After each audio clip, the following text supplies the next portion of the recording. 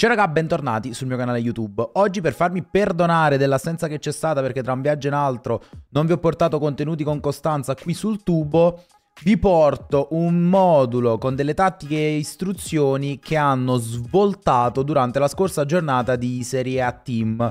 Un modulo che secondo me se masterato veramente un'arma letale sia in attacco che in difesa che sto provando, ho provato e credo che continuerò a utilizzare fino alla fine dell'anno perché veramente è qualcosa di sorprendente. Senza perdere altro tempo andiamo subito a vedere di che formazione sto parlando. Il modulo in questione è il 5-4-1, ebbene sì, un altro modulo con la difesa a 5 che torna prepotentemente sulla scena dopo il famoso 5-3-2 di FIFA 21. Però questo modulo qua è un modulo che ha delle caratteristiche particolari e infatti prima di andare a vedere tattiche, istruzioni eccetera voglio analizzarlo per bene con voi per vedere quali sono i ruoli chiave e quali sono i giocatori che vanno inseriti nei determinati ruoli. Allora, voi potreste dire, ah, di prima battuta, eccoci qua, quindi questo è il modulo per difendere le partite. Invece assolutamente il contrario, perché questa formazione qui, con i dovuti accorgimenti, è perfetta per iniziare la partita e portarla fino alla fine proprio così, con il 5-4-1, senza fare troppi cambiamenti.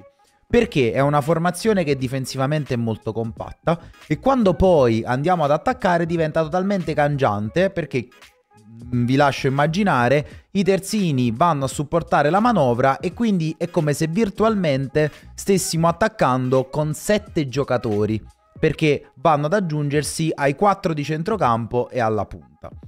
Veniamo ad analizzare per bene i ruoli. Chiaramente il mio consiglio è quello di non costruire una squadra appositamente per il 5-4-1, ma come al solito avere una squadra che sia abbastanza eh, trasformabile, per cui se voi partite magari con un classico 4-3-2-1 o 4-4-2, siete comunque in grado di poter passare anche al 5-4-1. Quindi ad esempio, il terzo che si viene ad aggiungere, difensore centrale, può tranquillamente essere uno dei vostri centrocampisti, come nel mio caso vado ad aggiungere come difensore centrale Vieira, quindi questo si sposa alla perfezione mh, mm, in questa occasione qui. Ovviamente voi ci potete andare a mettere anche un Fofana, un Zaccaria, giocatori di questo tipo.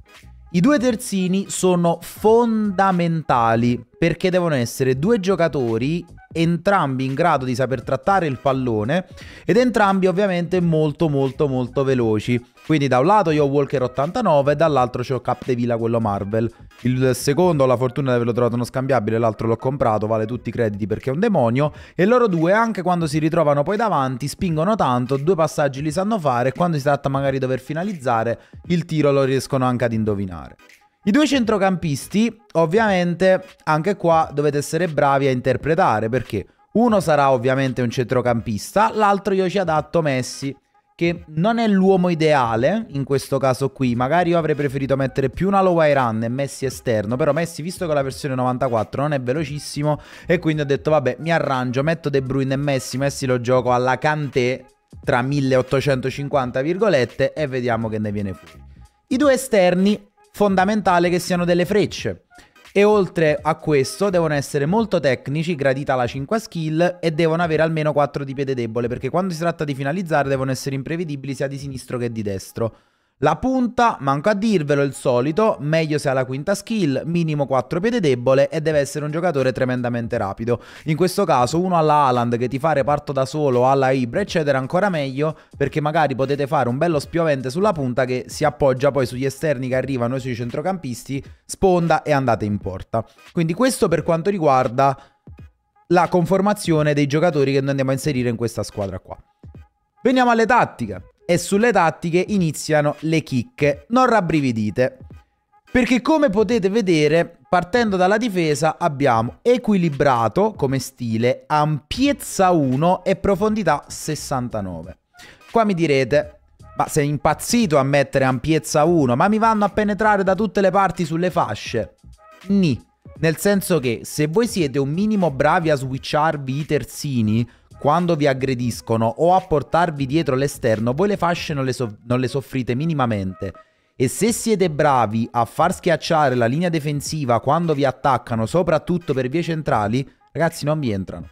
ma non vi entrano. O fate voi un errore o vi fa proprio l'avversario una gran giocata, altrimenti voi lì davanti andate ad alzare un bel muretto e da lì è difficile andare a scalfire la vostra area di rigore perché i giocatori si compattano che è una bellezza. L'avversario deve essere molto paziente, allargare e cercare di aprirvi, ma vi ripeto, non è sempre scontato. Profondità 69 per far sì che evitiamo di spammare trappole del fuorigioco in automatico e quindi che si vada a disunire la nostra linea senza che noi lo vogliamo.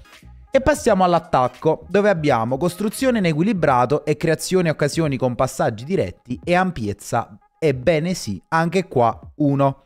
Perché 1? Perché questo 5-4-1 è un modulo tremendamente largo se voi tenete questi giocatori aperti aumentando l'ampiezza, vi viene difficile trovare quegli scambi veloci, quegli 1-2.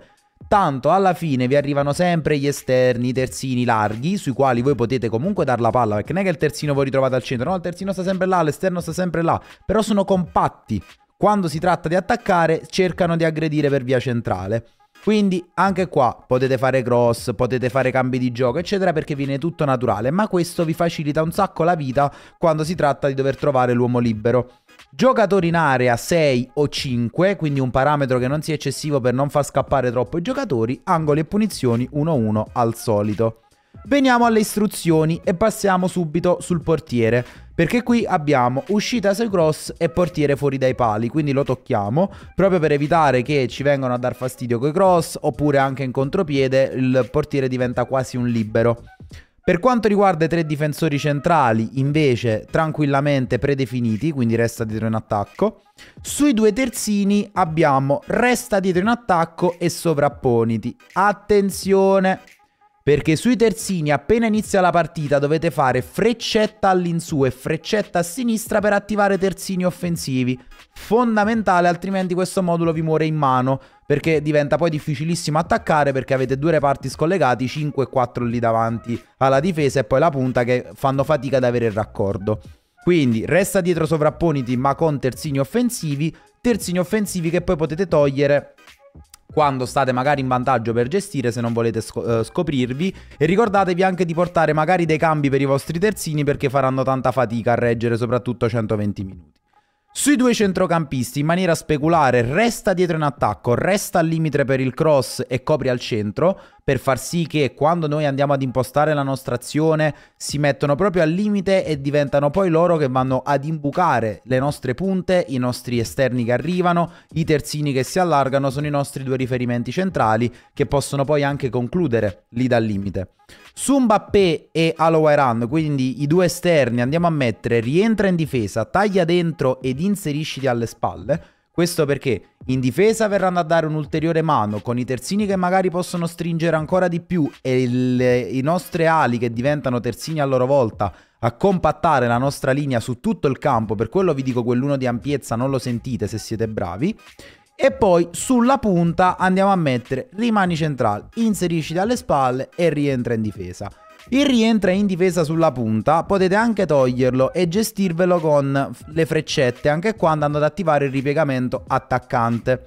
Però io di solito lo utilizzo perché così venendo la punta al centrocampo quando recupero la palla ho subito lì il mio pivot che poi smista il pallone sinistra e destra e mi permette di poter fare le mie ripartenze. Quindi Ricapitolando, fondamentali L'uno di ampiezza sia in attacco che in difesa, fondamentale, non vi dimenticate per nessun motivo, appena inizia la partita, freccetta su, freccetta a sinistra per mettere i terzini offensivi.